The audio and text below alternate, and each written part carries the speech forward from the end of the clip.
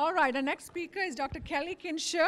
Dr. So Dr. Kindscher is a professor in the Environmental Studies program and senior scientist at the Kansas Biological Survey at the University of Kansas.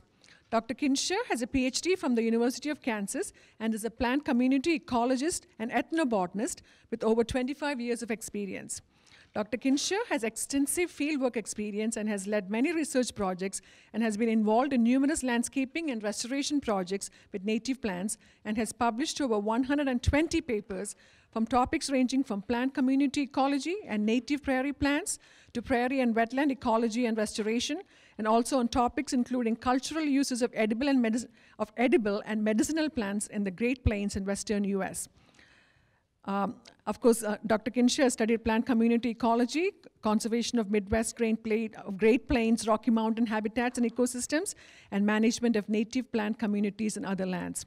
Currently, Dr. Kindscher is focusing much of his attention on collecting medicinal plants and looking for natural products and anti-cancer compounds throughout the Great Plains and, South, and Southwest that help support the use of native plants for the KU Native Medicine Plant Research Program. He is author of two books, Edible Wild Plants, Wild Plants of the Prairie, which was published in 1987, and Medicinal Wild Plants of the Prairie, which was published in 1992, both published by the University Press of Kansas, and a forthcoming one on echinacea, that's herbal medicine with a wild history, to be published by Springer soon. Dr. Kindscher is one of the founders and board members of the Kansas Land Trust um, Prairie Plains Resource Institute board member based in Aurora, Nebraska, and is on the advisory board of the United Plant Savers as well. And today he's going to talk about the native medicinal plants of the prairie. Welcome, Dr. Kindscher.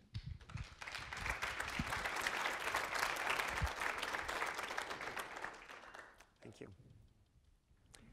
Thank you. It's good to be here. Can you all hear me? Yes. Good. Great.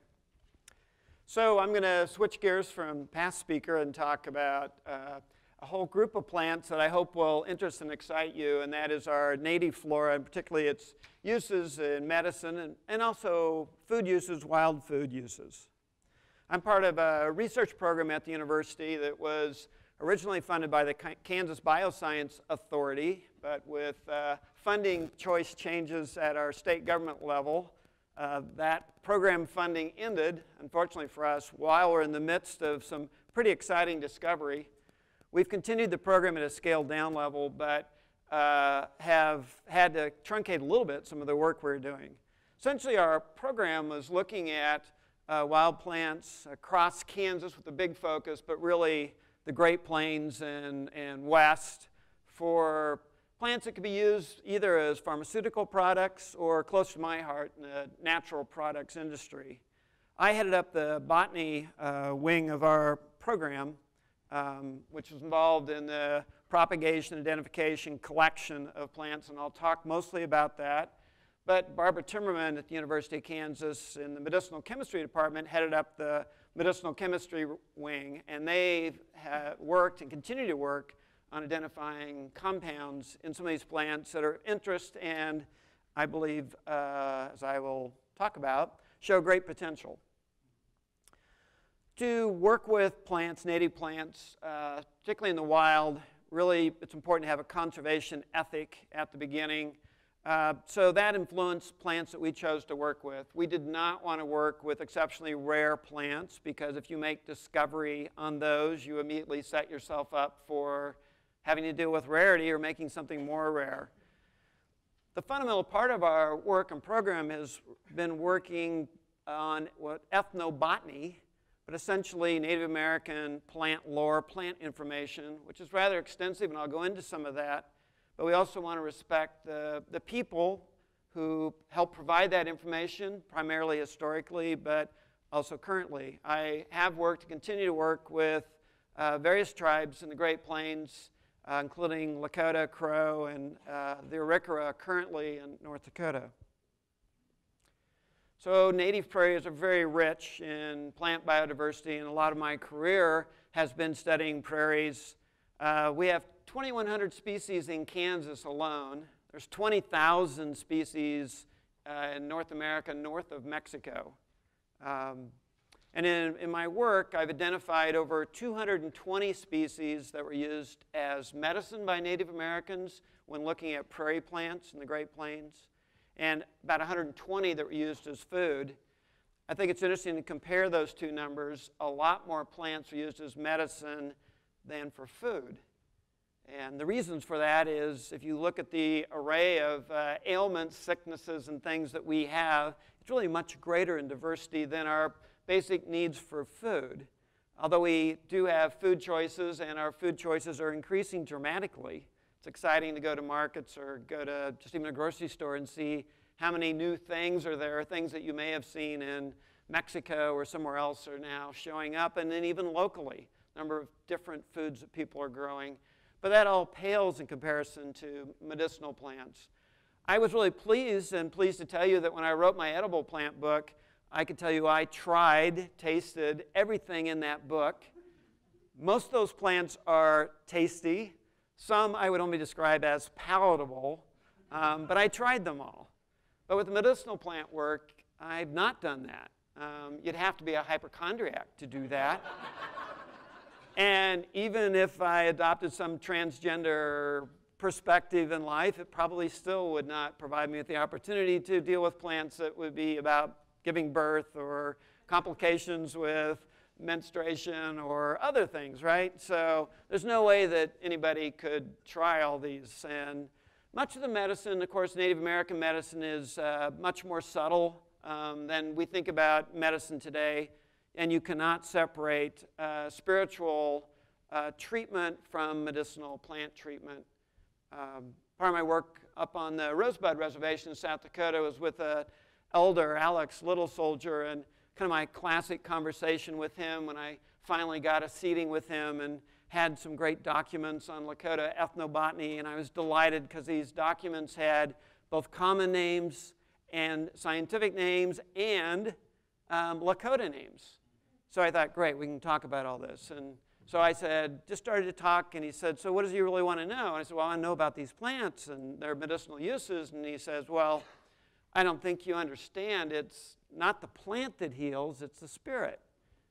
And I said, Well, yes, I do understand that, but don't you use this plant to treat this? And he said, Yes, but you don't understand. It's not the plant that heals, it's the spirit. And I said, Well, yeah, I do understand that, but don't you use this plant to treat this? He said, Well, you don't understand. It's. And I think that just shows you the, the circle of understanding. And. Um, so I, as a scientist, um, I, I don't discount all sorts of phenomena, but as a scientist, I believe in testing things and repeatable facts, right? So today I can talk to you mostly about those things that we can work with.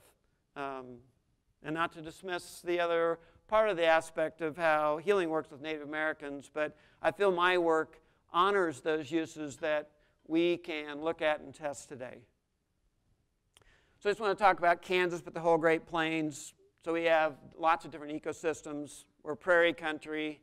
Um, you know, like 95% of Kansas was originally prairie, tall grass, mixed grass, short grass being the dominant types, but many, many variations within that, many other habitats. Grasslands are such wonderful ecosystems. Uh, the yellow areas in the global map, tall grass prairie in the green on the map, um, with Flint Hills pictures and inset, but most of that landscape, of course, today has been in agricultural production. So we're down to something like less than 4% of the original tallgrass prairie is left. So another part of me as a conservationist, as a lover of plants and of a defender of prairies, really wants to share information about these native plants for their value because I believe that to get engaged in protection of landscapes and conservation it's much easier to relate to plants than some sort of concept of a prairie or an ecosystem.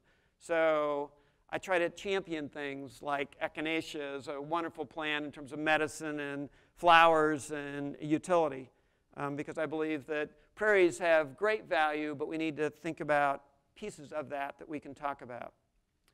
So our research is based on data and databasing. So with my work and then with help, in our lab, we've we've pretty much put in the database as many um, Great Plains plant uses by tribes that we could find.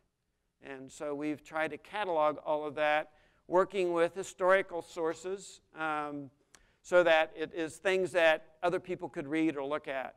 And we use those as leads to collect the plants that we've collected. Um, so we ended up collecting over 200 species of plants that had previously had uh, medicinal plant uses. But those uses weren't always things that um, we'd use them for today.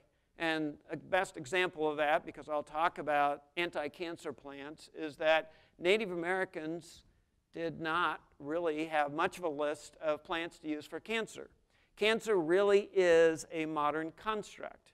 You could even argue it's a construct of modern medicine, the pharmaceutical industry, because it depends it really is about thinking about cells and thinking about cells malfunctioning and odd growths that are internal.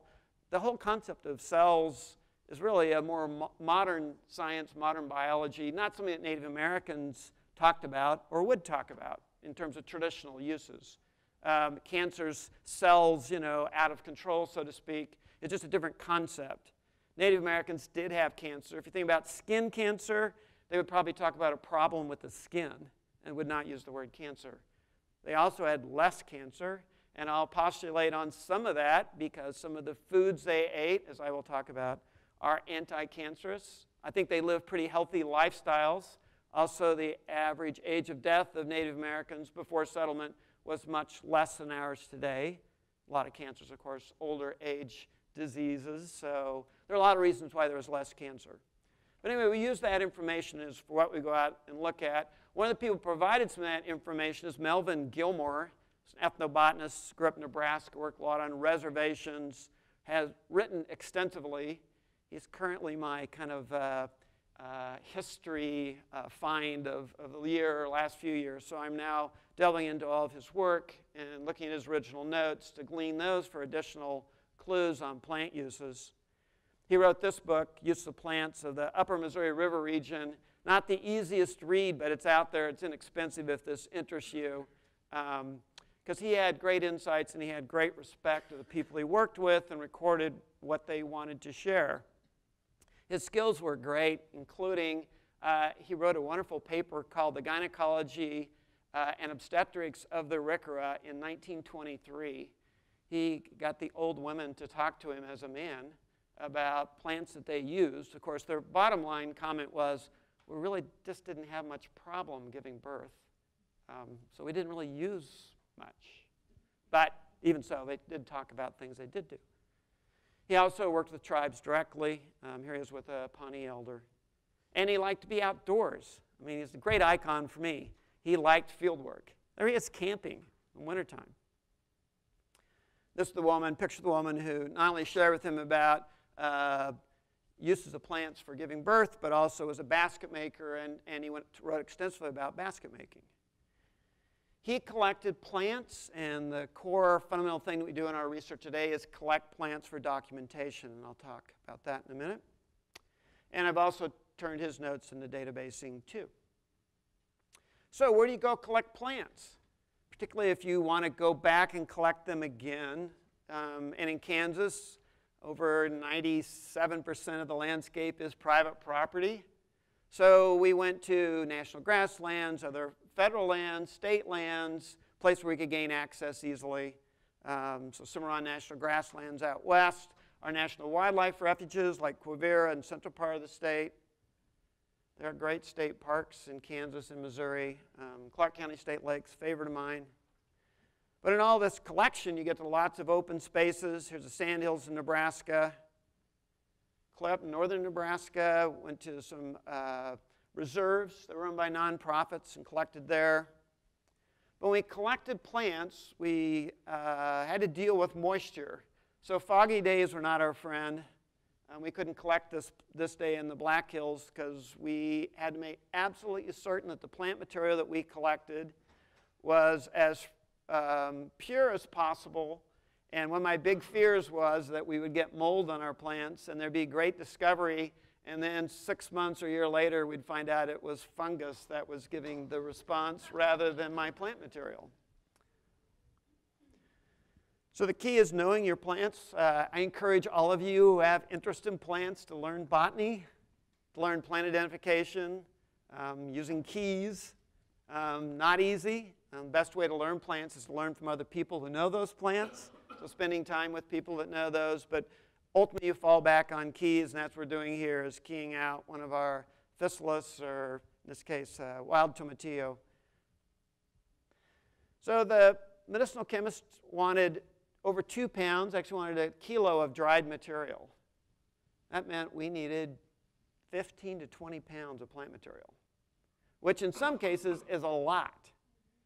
In other cases, not so bad. We liked big, fleshy roots, like woody material, like, you know, weeds that were big and tall, dense stuff. But some plant material was pretty small. Talk about that. We also collected lots of data related to every collection, GPS units, everything from time of the day to how to get the driving directions, information about the plant population and stand, all that in database. And then again, the core was we made plant specimens, you flatten out your plants, dry them carefully, label them, and in our case, uh, all of them were deposited at the KU uh, herbarium. And the reason for doing this is A, we are wrong occasionally, so you will get corrected. And taxonomy is changing. Um, with new molecular techniques, now things are being reclassified in some cases. Kind of a pain when names change, but it means that there's probably some truth behind that. And things will change in the future. So if the plant we collected ends up getting divided into two species in the future, it would be possible then to actually look at our specimen and say which of those two it was. So it's very, very helpful to have these collections um, for future work. That's our data collection form. Not all that interesting, but just wanted to know we collected a lot of data. We traveled. There weren't always places to stay or get a good meal. Um, fortunately, the high plains is being depopulated, um, but we dealt with that. We spent a lot of time cutting up plants. To dry our plants, I had considered about taking a dryer along, and, and we thought that would be a good idea. But we also decided we did not really want to apply much heat to these plants. So instead of doing that, we sought out places where we could lay plants out to dry and use fans and turn them, chop them, or even better, bring them back to our plant lab where we have a really good air exchange. Like in the, in the most chemistry labs, there's uh, air exchange units will change the air in the room every two minutes. So it means that those plants don't get a chance to mold. Mold was not our friend. Not our friend. Here we are collecting a wild licorice. Um, licorice has been used for medicinal purposes for a long time. It's uh, got a very sweet substance in the root, and it's, uh, it coats the throat. So it's been used for colds and sore throats and other medicine for a long time. We also liked it because has these big, long, stringy roots, and you can collect a lot of it. There's one root, this plant in a wetland area. More time chopping laying them out to dry. This is a big barn we used for a while. So you lay them out, and turn them. Bush morning glory. This is a plant of uh, sandy areas in the high plains, western Kansas, western Oklahoma, South Dakota. And it's a morning glory, um, but it's a perennial one and was a plant of great interest to Native Americans who use it as one of their cure-alls. Um, and I've done work on this now, and we've identified an anti-TB compound in the roots of this plant. I don't think it'll be something that's marketable, but just interesting that you get these compounds out of these plants. The, the belief is that medicinal plants are medicinal because plants are trying to ward off being eaten by insects or grazers. And of course, they, they protect themselves in a lot of ways. The most easy way to think about plants protect themselves are spines, thorns, right? Physical protection. But that didn't always work, and, and plants evolved all these other ways to use chemistry. So you have all these chemical defenses, and primarily they're to defend them against insects. And insects are just remarkable, aren't they? And how they'll gobble up the plants we want to grow and even evolve and change to do that. Um, and of course, we're pretty similar to insects uh, in the scheme of life. Uh, think of it this way in our horticulture world, is there any insecticide that you feel really comfortable consuming or being exposed to? You know, we, we don't. Even, even the organic ones, you know, are, you know, something you don't want too much exposure to. So even insecticides are really pretty close to uh, humanicides, or, right? Um, so we, we know that some of the effects insects could affect us. And most of these secondary compounds are affecting insects not by killing them, but affecting their behavior or how they live, like BT, you know, oddly, paralyzes the guts of worms, of caterpillars. Really strange that, you know, where'd that come from? But it works, right? Um, so we found this uh, uh, anti-TB plant and some work we'd done. So we wanted to collect more of it for this project. And it has these great, beautiful flowers and these big roots that go way down deep in the ground. And Quinn went all the way in to get it and got it. Isn't that great? Look at our trophy root. And then doing historical work, we realized that, you know, here's a Swiss botanist in 1913 out, out in Akron, Colorado. It's on the way to Denver, driving from here. He's also collected this stuff, and he's posing with his root, except he's got this little bench to elevate himself. we, didn't, we didn't think about that for our pictures. But botany and exploration has been a big deal. Here's that same Swiss crew uh, out in their Colorado trip in that year. Um, odd looking group. I also realized we just didn't have hats. I mean, hats are something that botanists these days just don't think enough about. So anyway, we, we collect this root, took it back, and to, we have to grind these things for the chemist, and a big root like that gets hard, so we have to cut them up. And this plant has annual growth rings, which is kind of cool, because most roots don't do that, right? Um, trees do that, but most plants don't. So we like these big roots. Buffalo gourd, some of you may know this, the wild gourd. Often you see it along railroad tracks. Again, high plains plant you know, it's, it's a cucurbit. It's related to all of our squash and those, and is part of the origin of where those came from. Another big root. We love big roots. Had to cut it up with the bandsaw too before we grind it. Yucca, like yucca, big roots too. But then weedy things, cucumber. Um, there's medicinal use of it, particularly in the seeds. Boneset, I'll make a plug for this one. Um, I just heard about the Zika or Zika virus, right? And the common name for that is uh, bone break fever. This plant was used against the bone break fever. This has immune stimulant properties, and the horrible 1918 flu epidemic, which apparently originated at Fort Riley in Kansas and spread over, and I think what, 10, 20,000 people died? It was horrendous. Um, and there really was not any good medicine for it except this plant. Boneset, called boneset because it helped cure the bone break fever. Nothing to do with broken bones. That fever, and you know, when you've had a really bad flu, your bones actually ache or something seems like your bones are aching. I don't know what that is exactly, but when it hurts when you have flu, this was a plant that was used against that. And in recent times, we've identified an immune stimulant in this plant. Um, I do think there's opportunity for uh, some of our plants and prairie plants to be useful in current epidemics. And I wish there were research funds for this sort of thing. In fact, when I hear that uh, uh, the government, Obama has mentioned they're going to spend a billion dollars on a vaccine for the Zika virus, power to him. But a little bit of money for immune stimulant plants like this or echinacea, which I'll talk about, would also go a long ways because you could be providing those right now. Um, but I'll say more about that in a minute. Yeah. I just need to clarify so they've been used that plant to try to stop that epidemic uh, yes, it was, it was used in the East, uh, yes. And people had pretty good success with it.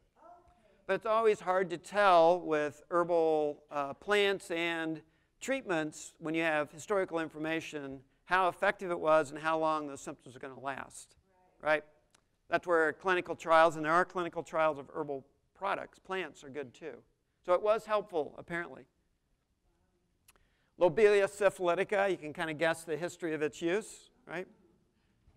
Collected this. Okay, this one, this one was very fascinating. That orange substance is called dodder, and it's a plant parasite which makes, has no photosynthetic apparatus in it. It only lives on other plants, and the different species are attracted to different types of plants. So this one feeds off of helianthus or sunflowers. And the reason we were interested in this, there's a little bit of research on some interesting compounds in it. And think about it, this plant is exchanging bodily fluids with another plant. You know, and that sort of thing's dangerous in nature, right? So we figured this plant might have a good mechanism internally to be a real powerful treatment. So we decided we would collect it. Now, the difficulty in collecting this thing is there's no structure to it. And it's thin. And it's on other plants, which you do not want to get in your samples because then you're going to get this someone going, wow, we found this compound in this plant. And it's actually from the helianthus, right? You know, don't want that.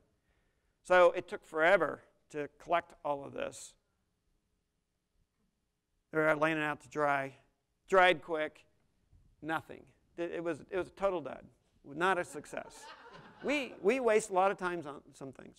Also, our screens, we screen for, um, I mentioned anti-cancer, but we also screen for uh, antioxidant capacity, which is a really a good thing for us, uh, wound healing, and um, well, we're starting, we did start to look at digestive issues and had a screen for that, but we had to drop that when funding got cut. So we only tested for very few things. I mean, people think, oh, you should test this plant, you should learn about this plant. Way too complex to look at the whole realm of things that a plant could be useful for. And the research group we were part of uh, had lots of ex experience with uh, alkaloids and uh, a whole set of compounds in, in that realm rather than like immune stimulant compounds or other things. So that also shaped where we went with this, which was fine. So we are at drying rooms. These rolled up things are not uh, sleeping gear, that's plant material gear. If you know you're a day away, you can roll up your plants in these uh, just blankets and they won't mold before you get back to the lab and get them dry. So we can make it back from Colorado. So this is how a lab would look after a big field trip, the second lab. And then we ground them. And that mill on the right was what we used. Had used it outside because it was pretty dusty. And, you know, with unusual plant material, you don't know, people do react to things. Lots of plants, a few people are allergic to and content, so do that outside. Had to be sure, again, we cleaned it carefully between each plant, grinding because you don't want to have anything beyond the other one. And so this is what they'd look like. So we ended up collecting 220 species of native plants that had ethnobotanical histories. And this is our winner. Kind of disappointing. The winner was a weed. I was hoping the winner was going to be one of my classic prairie plants, you know, like echinacea or something. But uh, the physalis, uh, I now call them wild tomatillos, since you're all, everyone's always familiar with tomatillos. But the common name used to be ground cherries. Um, but this species of ground cherry or wild tomatillo had the highest antioxidant content of all the species we tested. It also scored high in our anti-cancer tests. Which, so second round of that, we sent things to KU Med Center.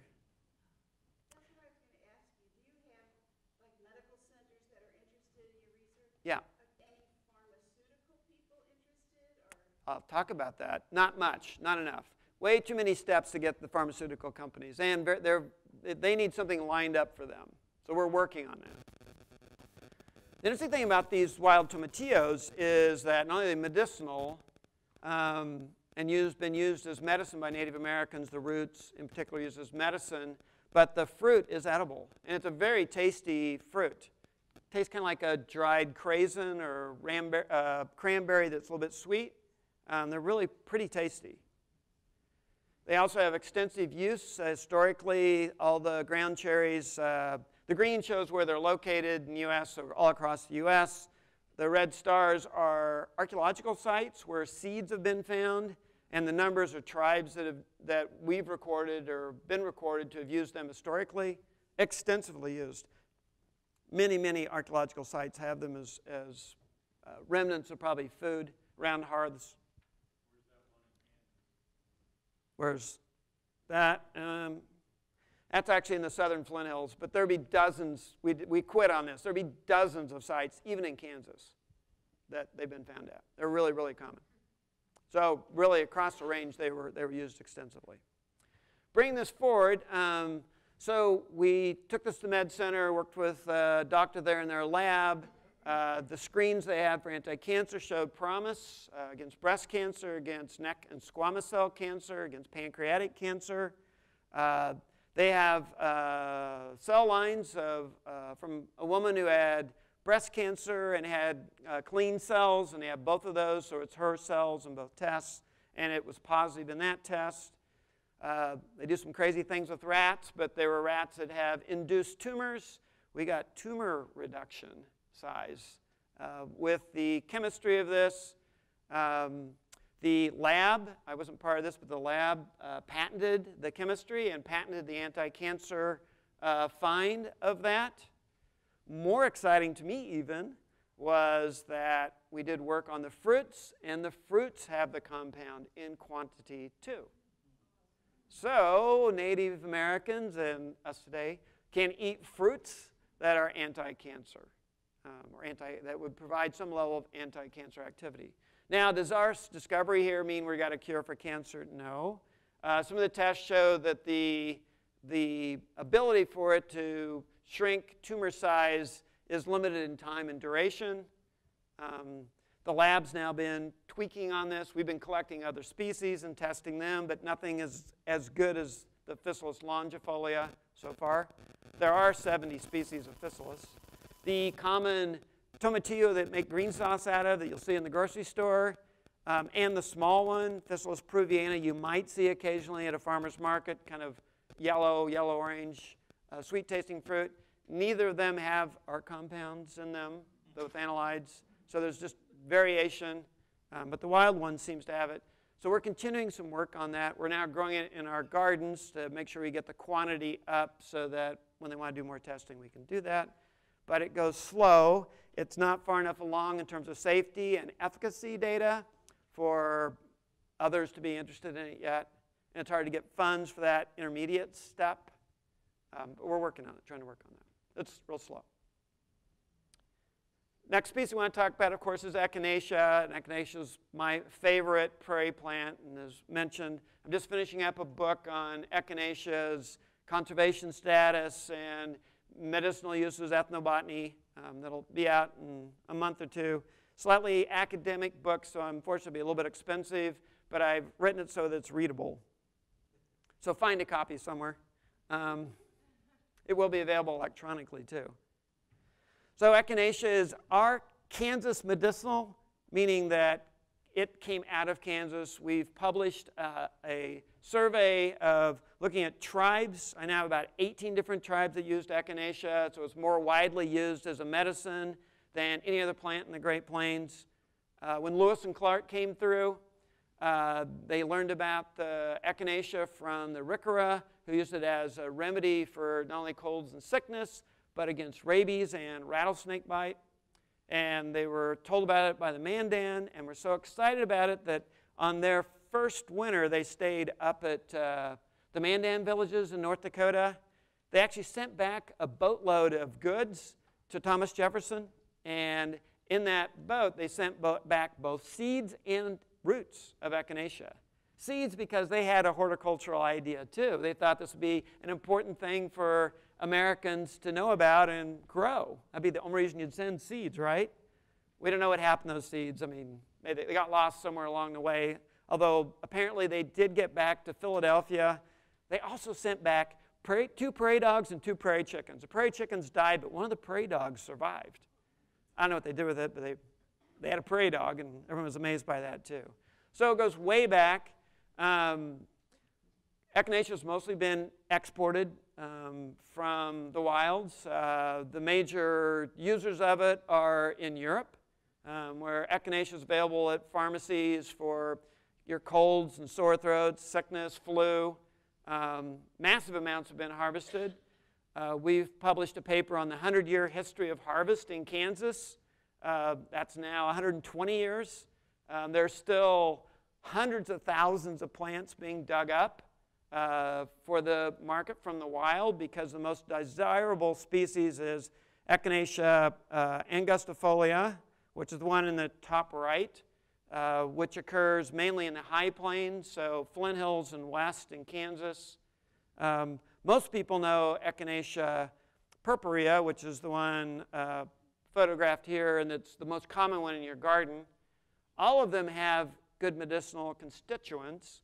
All of them have immune stimulants, but they also have a variety of compounds. Uh, we lost that on the big grant for an NIH uh, Echinacea Center, went to Iowa State. That's kind of the booby prize. I got to be on the review committee. you know, like funding up to go to meetings, but no funding for research. Disappointing, but uh, I learned a lot. Um, so we still have not been able to isolate the active constituent in the carbohydrate uh, fraction of the plant. So there's a very, very large molecule in the carbohydrate part that there is a definite immune reaction to. If you take the plant material and extract all the carbohydrates and test what's left, you'll get another immune stimulant reaction. So uh, we know that there's what I'd call polypharmacy going on multiple interactions. Uh, does echinacea work? There are bunches of studies in the medical literature saying that it works and it doesn't work. You can pick whichever one you want. Um, we typically view as the gold standard, though, look, looking at clinical trials. There are quite a few clinical trials of echinacea. Some saying it works, some saying it doesn't work. The thing, and I'm not trying to cherry pick here, though, when working with herbal products, you really need to be really careful and figure out what the plant materials you want to test, how you test it, how you prepare it, where it comes from. And I think a lot of times that quality control has not been there, and especially when we don't know what those active medicinal constituents are. If you look at some of the positive results that have come out recently, I love it. There was a great clinical trial looking at folks in Australia who they're looking at upper respiratory tract infections and tracking people who were making long plane flights, like Australia to the US and would had one crew that they treated before, after, during, and after with echinacea. Another group did not get treated. Those who got treated had less symptoms and shorter durations of upper respiratory tract infections. Just last year, a clinical trial out of Eastern Europe shows that echinacea is as effective as Tamiflu. Tamiflu is what, didn't we spend several billion to give that to people for the last big flu epidemic? I think we did um, equally effective and doesn't have the side effects. Tamiflu has a lot of side effects. But we can't get any traction for these medicinal plants because they're not controlled. They can't easily be patented. They're in the market as herbal products. You cannot advertise about them on the label. You know, if you go to Whole Foods or a food co-op, you can buy echinacea, but it doesn't tell you what, how to use it or what to use it for. Or even going back to my wild tomatillos, you can't buy an herbal product for cancer. Go to Whole Foods or somewhere, ask them where the anti cancer aisle is. Right? They'll, they'll take you to big aisle for you know vitamins, right? But anyway, we have a very unusual healthcare system that needs improvement and change. And I'm a strong believer that herbal products could really help us out a lot in terms of reducing costs. In Germany, you know, a pretty progressive place, you know, pretty modern place. 55% of women try herbal products before they go to the doctor. Why? Well, if they work, you don't have to go to the doctor. If they don't work, you still go to the doctor. Seems like a pretty sensible thing. Most herbal products are safe, more education on those that might not be safe. There are herbal products that interact with pharmaceutical problem, with pharmaceutical products. That's a problem. The doctor should tell us which of those pharmaceutical products are going to interact with the herbs that I take. That's how I like to put it around. Actually, doctors say you should tell them about what herbal products you're taking. There's interactions. We need to know more about that, and people should be careful about those. Anyway, so Echinacea angustifolia, talk about the number of tribes. Long history of its use. It was the patent medicine and medicine that was used by a large number of people up in the 20s and 30s fell out of popularity in the 50s and 60s post World War II, resurrected again in the 70s with kind of herbal product resurgence. Large amounts harvested, especially in western Kansas, where it was abundant in the post rock country, north of Hays, around Stockton. People paid money for it. People still harvest it. Money is under the table, right? So nice little income. It's a beautiful plant. Mentioned Echinacea purpurea. There's nine species. Echinacea pallida is a real winner for gardens. It's the one that's native right here. Here's one of the diggers. Went out with diggers, interviewed them, worked with them, and worked on sustainability of echinacea harvest. Unbelievable. Half of the plants that we harvest in experiments in Montana and Kansas resprouted, even though we dug them six to eight inches deep. Think about your yard or landscape. How many plants could you go out there and dig six to eight inches down and cut off the root and it'd grow back? Think about it. Hardly any. It's remarkable. Remarkable. Even dandelions won't survive from that deep. Big roots.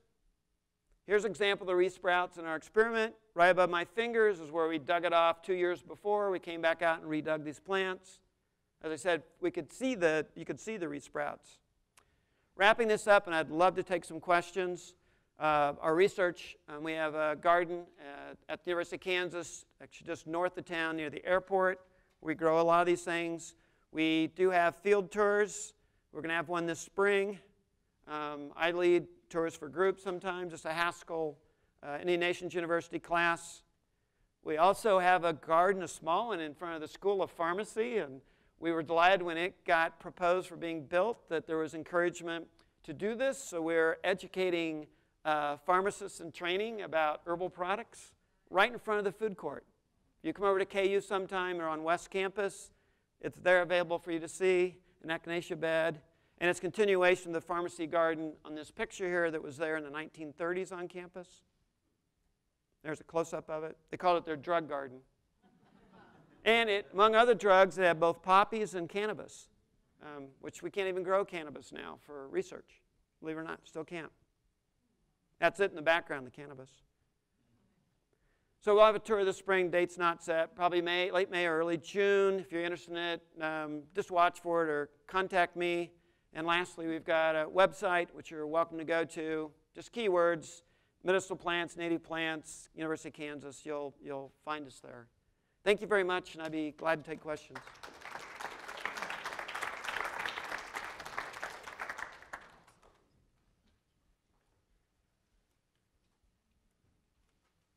Yeah,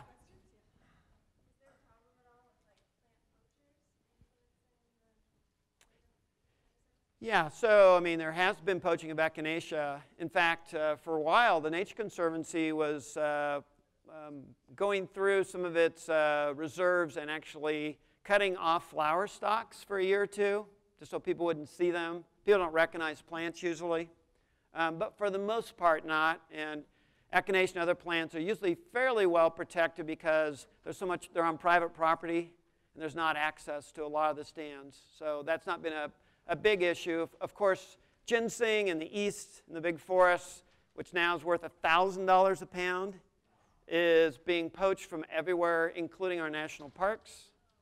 People are walking for hours across Smoky Mountain National Park to get roots because they're so valuable. So if the price gets high enough, it's a, it's a problem. And we continue to work on that issue with a variety of plants. Uh, Osha, which is a Rocky Mountain plant, has a history of harvest, and there's now some nice medicinal finds about it, and it's only found above seven, 8,000 feet. And we know we're going to have climate change and warming, so we're doing work on it right now to see to what extent it can be harvested. And it can be harvested quite a bit, but we're trying to develop protocols for sustainability of harvest. Um, I think that's an important thing if people are going to harvest plants. I encourage wild harvest, but we have to be thoughtful about it.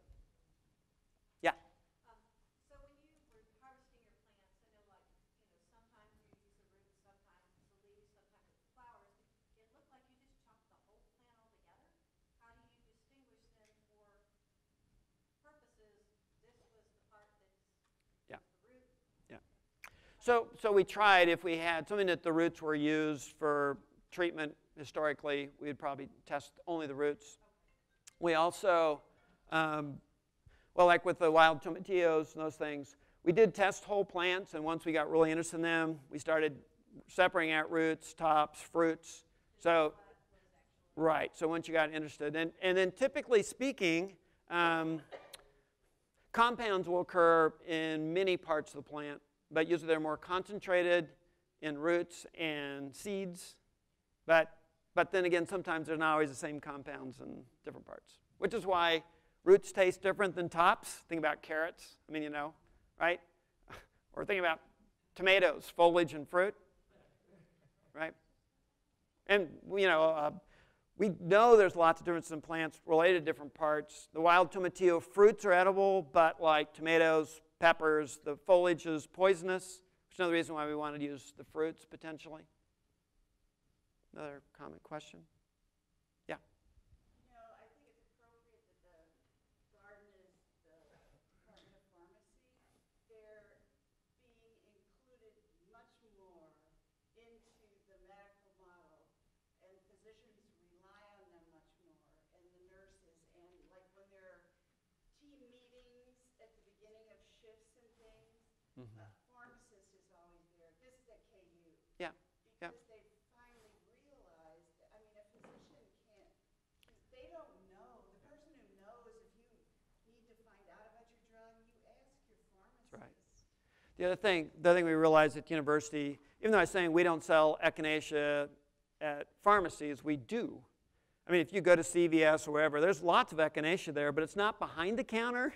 It's up front, right? It's, it's right there with the Pampers and Coca-Cola, right? Um, literally, it's, but it's not behind the, the counter. And uh, we, I got involved in the program a number of years ago because they realizing that pharmacists were graduating from the university and knew very little about herbal products that were actually being sold in their stores. So we started lecturing it, and there's now even a class that deals with that. Yeah. Do you uh, collaborate at all with, I think they're called the Kansas Native Plant Society? Sure. Yeah, I know those folks well. And, and when we, um, if we're starting on something new and we need a seed source, or if I'm looking for locations, groups like that are, are very helpful. Anyone else? Th- This is kind of this, the cancer cells that KU was using, were those Henrietta Lacks? I, I had no idea. Oh, no idea. Not even sure I should talk about those. Oh. You know, it's funny working on this. There's a lot of stuff that everyone's kind of like all secretive about at times, and I, and I'm not in that realm because I don't do that sort of work. But particularly with patents and licensing, there's a lot of competition, and so someone has a, you know, and then there's confidentiality issues. I mean, whoever that person. One more back here. Thank you.